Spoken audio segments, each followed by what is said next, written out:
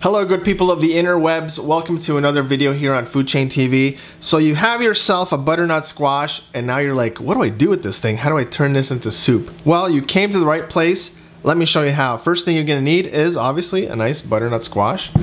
And then, very important, a sharp chef knife, okay? If your chef knife is not sharp, don't even bother doing this. All right, another thing you're gonna need is some elbow grease, okay? It's gonna require a little bit of strength and it is definitely going to require some knife control. Notice when I hold my knife, I actually pinch the blade and then wrap my fingers around the handle, okay? See this? This is knife control. I control where the chef knife goes, it doesn't wobble. If you hold your chef knife like this, it can wobble. If you hold your chef knife like this, don't do that. You are not in control of your blade if you hold it like this. So you want to pinch your blade right here at your knuckle. See? You have it nicely pinched. A really nice strong grip. And then you wrap your fingers around it. Okay, that knife's not going to go anywhere you don't want it to go. Okay, so now that I've lectured you on how to hold your chef knife, let's get to it. So the butternut squash is going to have a top and a bottom. So let's start off by cutting off the top. Then we cut off the base at the bottom. Okay, and this is simply so that we can stand it up and it's not gonna go anywhere. All right, so now this is where knife control comes in. We're gonna shave off the skin. Okay, and you're just gonna go down the squash and again, if your knife is not sharp, this is not going to work.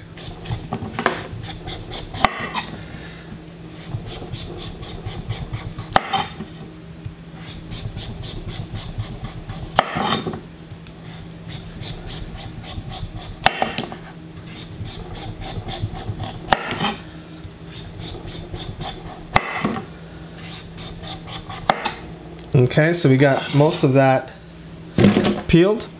And then over here on the bottom, you're gonna have little leftovers. So you just go along like this and just cut off the little bits that you missed.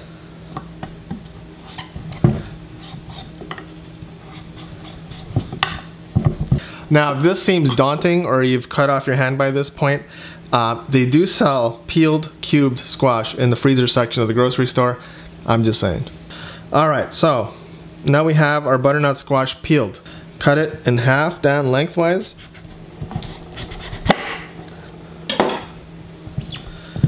Okay, so now you have your butternut squash opened and you're gonna take a nice spoon and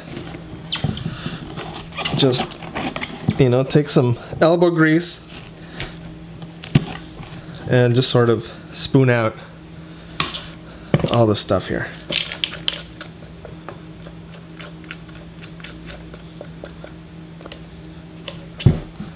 Okay, so now we've peeled it and taken all the seeds out.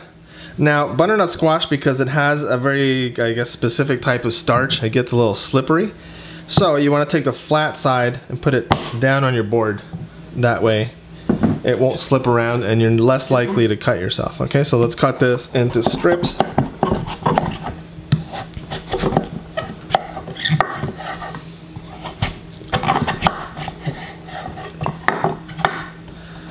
And I'm to cut it into rough cubes.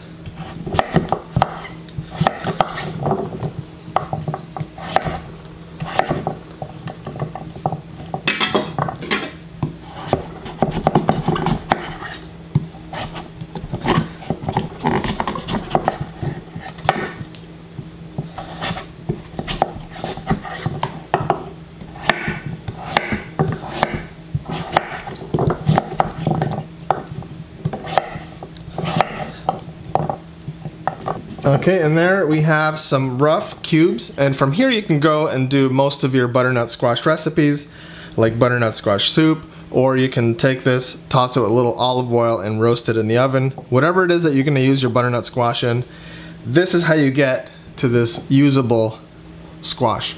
Thank you very much for watching this video. Please don't forget to hit that like and subscribe buttons. Your subscriptions help me spend more time making videos for you. Until next time, enjoy your butternut squash and let me know in the comments if there's anything else that you need to know about cooking and I might just make the video. All right, thank you. See you later.